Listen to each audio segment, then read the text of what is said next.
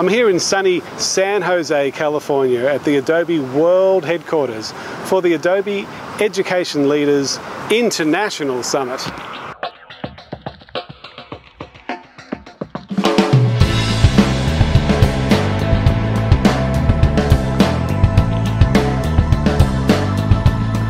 The Adobe World Headquarters actually has 2,500 people working in here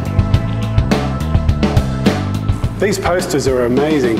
What you can see here is representations of some of the amazing software that's actually created here at the Adobe headquarters in San Jose.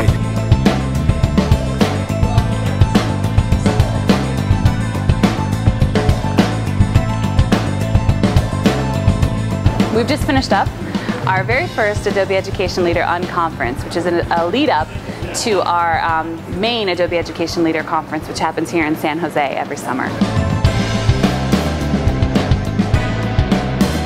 An unconference is a type of participatory event where there's no agenda set at the beginning of the conference and instead the participants create the agenda themselves based on their interests, their expertise, and their own questions that they'd like to answer in terms of professional learning.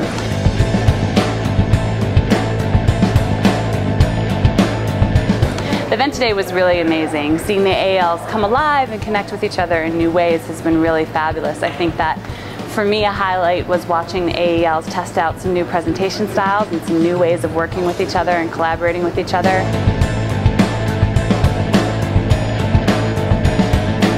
It's been huge to see the creativity of this group and their dedication to making change in education.